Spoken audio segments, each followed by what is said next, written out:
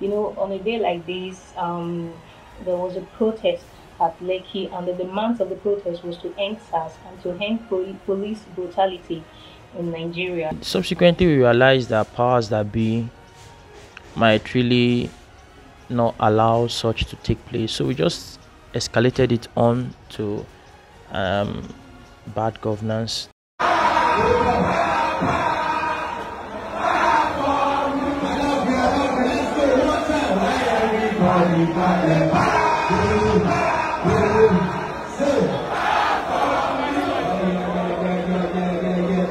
But the demands actually have not been met, and the youth are not happy.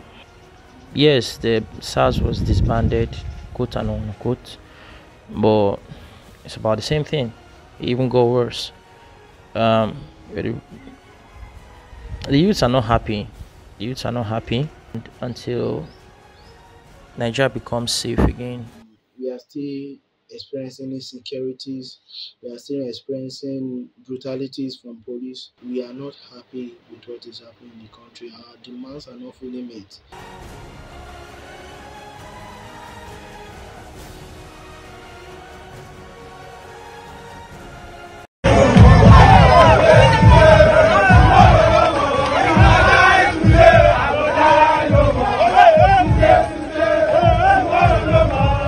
Nigerian government must be willing to just not end SARS, but must make sure that proper reform to Nigerian police is being done.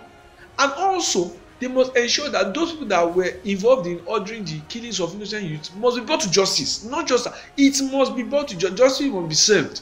And this is time to cry for justice for those that lost their lives in the EndSARS protest. They have sacrificed their life to the success of this country and they will not be forgotten at all. They are in the mind of every youth. And so that's why every youth, we are all going to work together to make sure that justice is done to them. We will not back down. We will still keep moving. We will keep the, the, the struggle up till our demands are fully met. Their labors will not be in vain. It will not be in vain. You move.